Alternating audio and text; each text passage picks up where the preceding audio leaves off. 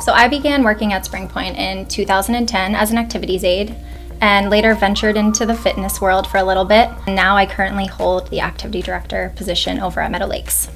Springpoint actually um, paid for me to take two classes to get me closer to getting my activity director certification. So now I'm there and pursuing that career. It's very rewarding. It's something that when you enjoy doing your job every single day, you look forward to going. You love working with the residents. We really are a community and we go above and beyond to do what's best for our residents and their families. The families become family, you know. Um, we all really are one community. It's so rewarding and what you do each and every day really has an impact on the residents.